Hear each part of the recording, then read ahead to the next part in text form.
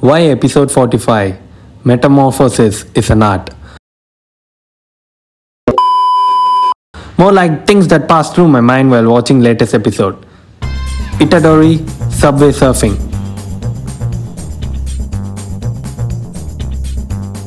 Hunter x Hunter Janken.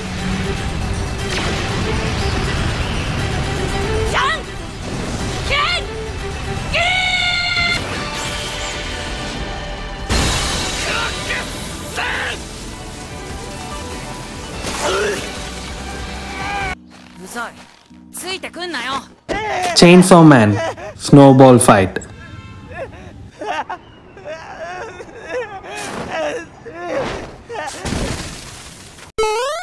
Apart from all that, this episode was an art. Music integration with the frames, the impact frames that they did to exhibit the rage, the shift between background to showcase that the hunter is now hunted, our fully realized predator, Itadori Yuji.